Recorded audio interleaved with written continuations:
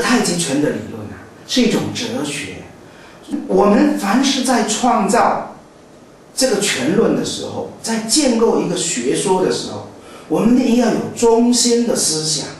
那么王宗岳祖师呢，就用老子的学说来作为中心的思想，所以太极拳呢就变成一种有哲学的拳术。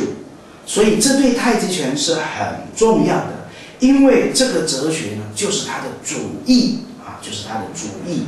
以现在来讲，太极拳理论就是它的主义，这是太极拳哲学很重要的原因。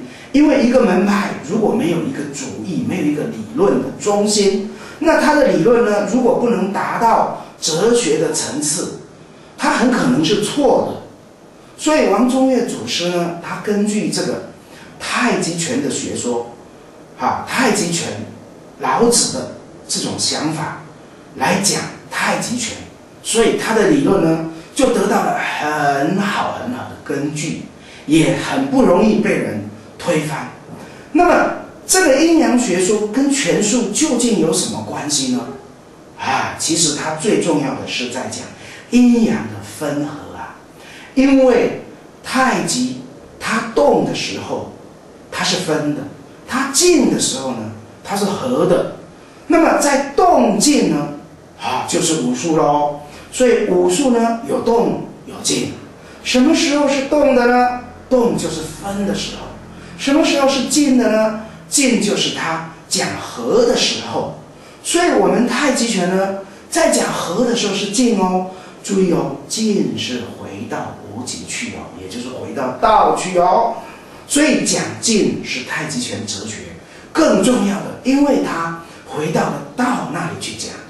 但是太极拳讲动的时候呢，它是讲阴阳，阴阳呢，它是动的时候讲。所以呢。太极拳就是有动有静的哲学，所以太极拳它在讲动静的时候是非常重要的。所以呢，太极拳其实它就是动静的拳术，大家一定要注意，太极拳是动和静的拳术。如果没有和动和静的观念，那么太极拳呢就和阴阳学说没有关系了。什么时候要静呢？就是我们要跟敌人合在一起。为什么敌人跟我们有关系呢？哎，这就是太极拳假设敌人和我们呢，就是一个阴，一个是阳，所以呢，敌我就是阴阳。如果敌人是阴，我是阳；如果敌人是阳，我是阴。所以呢，我跟敌人呢，要跟以静的方法。跟他融合，